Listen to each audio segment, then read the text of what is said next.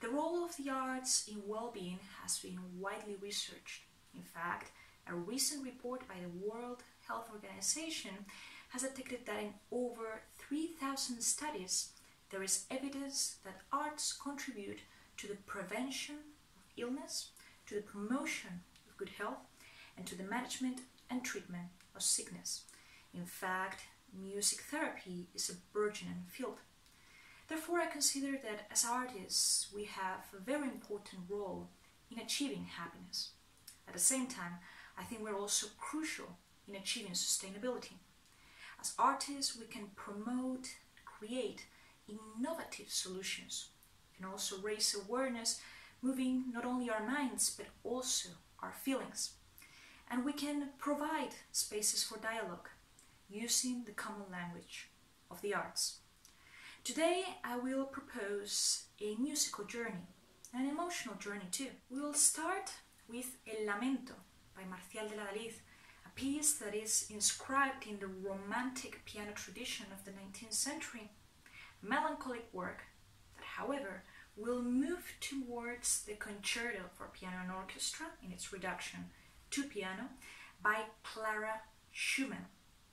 From this, we will move to Isaac Albeniz, to a very lively work, to El Puerto, in which he depicts the fun and the incredible joy of the south of Spain. And from that, we will move to Amy Beach's Scottish Legend, a piece full of hope. This program is intended to be a musical journey, an emotional journey in which we achieve happiness gradually. Would like to thank SDSN and SDSN Youth for the initiative, as well as all the organizations that are participating in this fantastic event, and as well as all the speakers. It is a pleasure to be part of this. Thank you very much.